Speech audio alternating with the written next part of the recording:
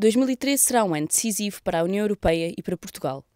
O IDEF e o Instituto Europeu lançam desde já o debate com as esperanças e sonhos para o novo ano de alguns dos seus amigos. Bom, o que é que eu espero da Europa 2013?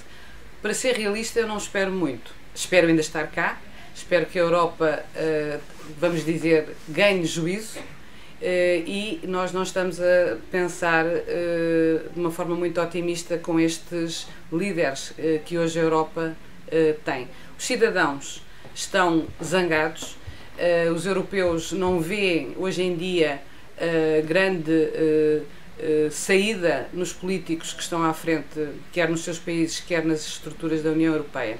Eu gostava de ter uma Europa social, gostava que a educação eh, e, de alguma maneira, os objetivos que estão na Europa 2020 eh, eh, fossem ao menos considerados.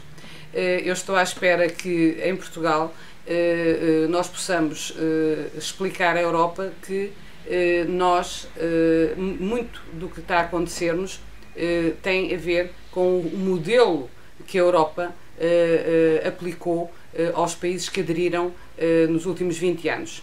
Nós fomos uh, financiados para deixar de ter um setor produtivo. Uh, é verdade que nós não fomos muito inteligentes uh, na maneira de aplicar alguns dos fundos, mas talvez seja repensar o modelo que está na base desta Europa, porque senão a minha expectativa não é uh, efetivamente de que muito bom ou algo de bom possa acontecer a esta Europa. Eu queria a Europa em que os cidadãos fossem ouvidos, eu queria a Europa uh, em que os direitos sociais, o direito à educação, o direito a ter apoio social quando se está desempregado, quando efetivamente após terminar a sua vida útil, a sua vida produtiva, se pudesse pensar com tranquilidade o resto da vida, eu gostava de ter esta Europa.